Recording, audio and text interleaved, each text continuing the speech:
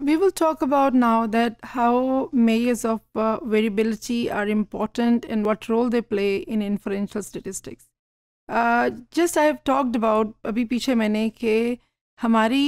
as a researcher as a scientist and as a statistician हमारा main interest होता है कि हम पॉपुलेशन को जानना चाहते हैं ना हमारी मेन इंटरेस्ट पॉपुलेशन में होता है लेकिन in most of the cases पूरी पॉपुलेशन को स्टडी करना पॉसिबल नहीं होता तो हम क्या करते हैं कि हम पॉपुलेशन में से सैंपल ड्रॉ करते हैं। हम कोशिश करते हैं कि वो सैंपल रिप्रेजेंटेटिव हो पॉपुलेशन का ताकि हम ट्रूली एस्टिमेट कर सकें पॉपुलेशन पैरामीटर्स को from sample statistic and this is what the goal of inferential statistic is क्यों? क्योंकि फॉर एग्जांपल अगर मेरी पॉपुलेशन uh, पूरी पाकिस्तान की यूथ है and I want to see कि सोशल मीडिया कैसे बच्चों को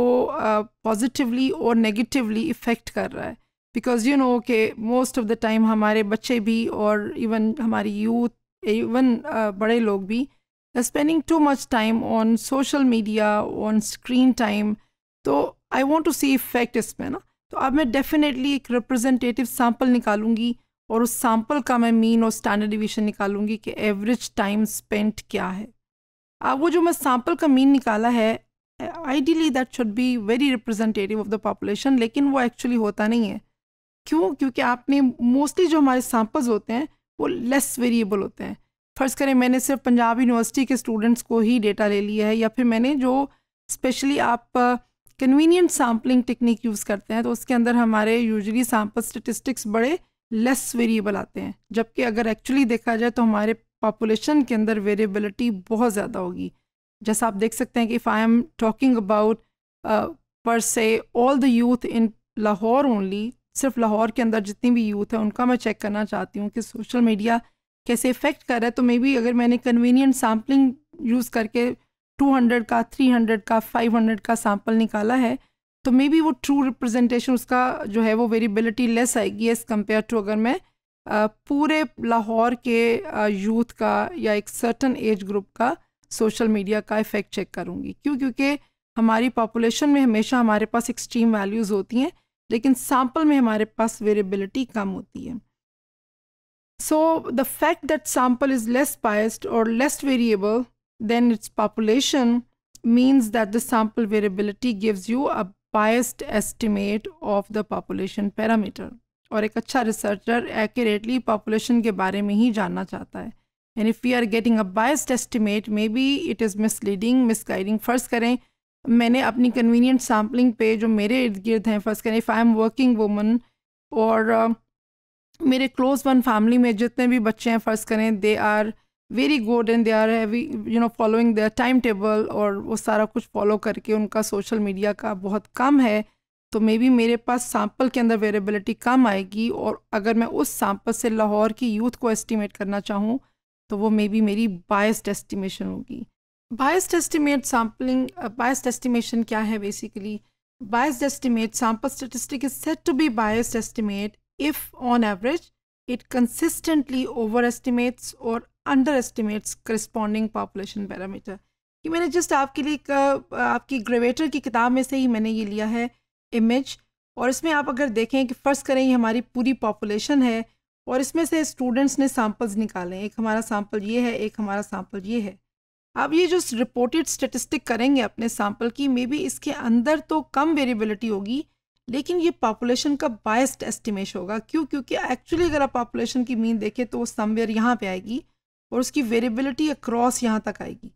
जितनी वेरिएबिलिटी हमारी पॉपुलेशन में है, उतनी सैंपल में नहीं होगी। लेकिन this is called biased estimation क्योंकि आप एक तरह की कम वेरिएबिलिटी का सैंपल लेके आप उसकी स्टैंडर्ड डिविएशन निकालें और फिर आप उससे पॉपुलेशन के स्टैंडर्ड डिविएशन को एस्टिमेट करना चाहें। So we need to correct this this estimation just like अगर हमारी कोई भी फ़र्ज़ करें uh, अगर फ़र्ज़ करें हमारी वेइंग मशीन है या हमारा कोई गाड़ी का स्पीडोमीटर है और अगर वो कोई एरर दे रहा होता है फ़र्ज़ करें फाइव माइल्स का डिफरेंस दे रहा है वो तो हमें उसको करेक्ट करना पड़ता है। सिमिलरली यहाँ पे भी हम अपने बायस्ड एस्टिमेट्स जो सैंपल स्टेटिस्टिक्स हम निकालते हैं उसको हम करेक्ट कर सकते हैं। और वो करेक्शन का फॉर्मूला है एन माइनस वन जिसको हम डिग्रीज ऑफ़ फ्रीडम भी कहते हैं। Degrees of freedom is a rough words में अगर मैं आपको समझाऊँ, इसका मतलब है कि आपके पास फ्रीडम है N times but not one time यानी you can get any value from the sample लेकिन आपको जो असल पॉपुलेशन का पैरामीटर है, उसको पहुँचने के लिए you have to free one cell so we can get the same value which is actually of the population first करें इस पॉपुलेशन की मीन है आ, वैसे तो मैंने 14 दी हुई है चले 14 ही कर देती हूँ। इस पॉपुलेशन का मीन जिसको हम म्यू से डिनोट करते हैं 14 है। लेकिन आपने इसमें से फ़र्ज़ करें सैंपल निकाला है कोई भी तीन का और आपका मीन आ गया फ़र्ज़ करें पे, आ, आ, पहली वैल्यू आपकी फ़र्ज़ करें नाइन है और दूसरी वैल्यू हमारी आ गई है सिक्स अब नाइन और सिक्स को अगर हम प्लस करें और फ़र्ज़ करें, तीसरी वैल्यू आपकी थ्री आ गई है। आपने थ्री पे डिवाइड करना, आपकी फोर्टीन की वैल्यू मीन की नहीं आएगी। Nine plus six is fifteen plus three is eighteen और eighteen divided by three is six जबकि एक्चुअल आपकी पॉपुलेशन की मीन फोर्टीन है। So you have to get this cell free ये वाला सेल ताकि आप इसमें वही वैल्यू डाल सकें जिसको मैं डाल के अपनी पॉपुलेशन की एक्चुअल वैल्यू को अचीव कर सकूँ। यानी मुझे यहाँ पे ऐसी वैल्यू रखनी है जिसको जमा करके अगर मैं तीन पे डिवाइड करूँ तो मेरी पॉपुलेशन पैरामीटर एस्टिमेट हो जाए which is called unbiased estimation because if I I have free one cell और उसके अंदर मैं इस एजम्पन के ऊपर कि जो एक्चुअल पॉपुलेशन का पैरामीटर है, उसको एस्टिमेट करने के लिए I have freedom but I have to you know fix one cell to place the exact value which I can you know add and get the same value जो कि मुझे पता नहीं होती। लेकिन इस सूरत में हम यहाँ पे आप देख सकते हैं कि हम ऐसी कौन सी वैल्यू डालें जिसपे प्लस करके थ्री पे डिवाइड करें तो आंसर हमारा फोर्टीन आ जाए you can do it so this is called unbiased हम उसको करने के लिए हम एन माइनस वन करते हैं जिसको डिग्रीज ऑफ़ फ्रीडम कहते हैं जिसका मतलब है कि you have freedom to get any sample and any sample statistic but you have to you know one cell so you can place the value to get and estimate the population parameter. Uh, इसको हम एक example में करते हैं. Let's say कि मेरे पास total population ये छः नंबर हैं. Zero zero three three nine nine this is the total population I have I can calculate the mu which is plus divided by six which is equal to nine plus nine eighteen twenty four divided by six is equal to four so the ये fourteen नहीं है, बल्कि ये four है, ये one extra डला हुआ है। सो मेरे पास पॉपुलेशन की मीन फोर आई है है ना? अब मैंने फ़र्ज़ करें, इसमें से रैंडमली तीन का सैंपल निकालना है और मेरे पास तीन का सैंपल निकला है ज़ीरो ज़ीरो एंड थ्री अब अगर मैं इसका मीन निकालूँ सैंपल का मीन तो मेरे पास आ जाएगा zero plus zero plus three which is equal to three divided by three which is one तो the mean is actually one मेरे सैंपल का। But if you look at the population the mean is four so if I just report के जी mean मेरे sample का one है and I want to estimate on a broader scale कि population का mean क्या होगा तो that is unbiased so to get a unbiased estimation you have to do n minus 1 which is 3 divided by 3 minus 1 which is equal to 3 by 2 and then the mean will be 1.5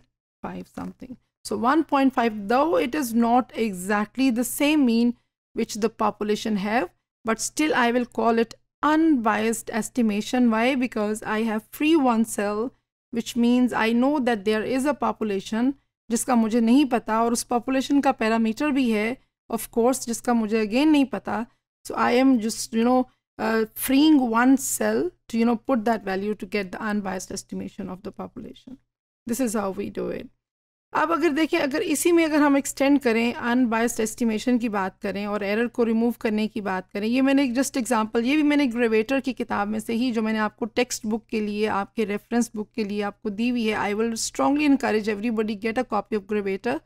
it's a very easy simple book and just you know reading की आदत भी डालें और साथ में खुद देखें, उन्होंने बहुत अच्छी एग्जाम्पल्स दी हुई हैं, पीछे एक्सरसाइजेज दी हुई हैं so you people solve them gets hands on practice on that so you know and understand better ये उसी में से ही मैंने एक उसको टेबल दिया हुआ है जिसका जो मैंने पॉपुलेशन आपको पीछे दिखाई है। फ़र्ज़ करें मैंने इसमें से दो दो के सैम्पल्स निकालने हैं। सो पहला स्कोर मेरा ये निकला है दूसरा ये निकला है। All possible samples with the two scores in each data uh, I got the samples like nine in nine samples में हर sample की मैंने मीन निकाली है जो कि ये है। अब ये कोई भी मीन उसकी एक्चुअल मीन के बराबर नहीं है। एक्चुअल मीन देखें हमारी फोर है, लेकिन इसमें कोई भी एग्जैक्ट फोर वैल्यू नहीं है। तो आपने अब क्या करना है कि अगर आपने उसकी बायस्ड एस्टिमेशन करनी है, जाके आप एन माइनस वन नहीं करते तो आप उसको वेरिएंस निकालने के लिए फार्मूला में वैल्यूज़ जब पुट करेंगे तो हर सैंपल का वेरिएंस ये निकलेगा। और अगर मैं इन वेरिएंस ऑफ़ ऑल वेरिएंसेस करके एवरेज निकालूँगी तो आंसर सिक्सटी थ्री निकलता। है लेकिन अगर मैं एन माइनस वन करूँ यानी हर सैंपल का मीन और हर सैंपल का वेरिएंस निकालूं and then I sum all variances यानी सम ऑफ़ स्क्वायर सारे के सारे सैंपल्स को मैं उनको आ, जमा करूँ यानी variance of all variances possible variances in the population sample उसका मैंने सम लिया तो 126 आया। अब अगर 126 को मैं डिवाइड करूँगी तो it will be exactly the same value जो मेरे पॉपुलेशन का वेरिएंस आया है। ये पीछे हमने यहाँ पे मीन कैलकुलेट किया है लेकिन हमने वेरिएंस कैलकुलेट नहीं किया। If I calculate the variance for this तो हमारा मे um, बी आप लोग let's do open your copies and calculate the variance for this with any formula हमने दो फार्मूला किए हैं। एक मीन डिविएशन वाला एक्स माइनस मीन वाला और एक हमने summation x square minus summation x whole square किया है। तो आप मुझे इस फार्मूला के साथ क्विकली मैं वीडियो पॉज करती हूँ तो आप इसके साथ मुझे वेरिएंस निकाल के बताएँ कि कितना निकलता है।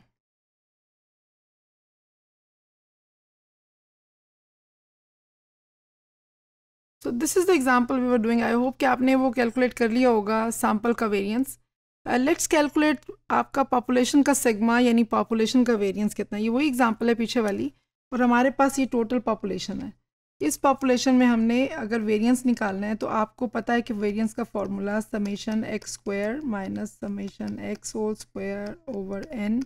divided by n अब अगर इसमें मैं फ़र्ज़ करें मेरा एक्स इस तरह है zero zero three three nine nine तो मैं इसमें निकालूँगी एक्स स्क्वायर का column which is zero zero nine nine eighty one eighty one अब मैं इसका भी टोटल ले लूँगी और इसका भी टोटल ले लूँगी। इसका मैं टोटल करूँगी eighty one eighty one nine nine बन जाएगा आपका वन एटी और इसका मैं अगर समेशन लूँगी तो नाइन नाइन थ्री थ्री बन जाएगा आपका twenty four I will plug the values and see कि समेशन एक्स स्क्वायर आया है वन एटी माइनस आपका समेशन एक्स है twenty four whole square twenty का मेरा टू नहीं सही लिखा गया तो दोबारा लिख लेते हैं। ट्वेंटी फोर का whole square divided by n हमारा है one two three four five six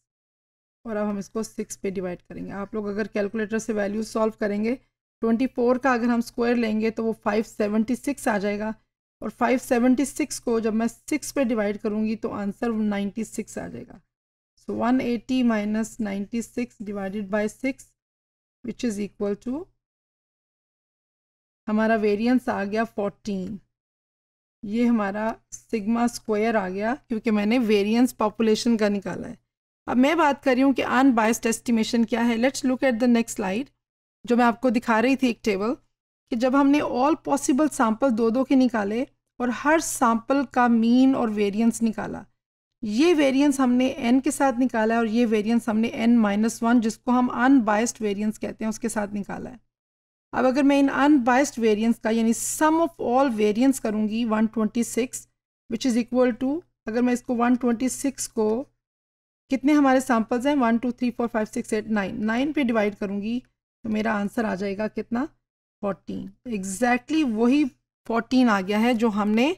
पीछे आपका पॉपुलेशन का वेरिएंस निकाला है which is this one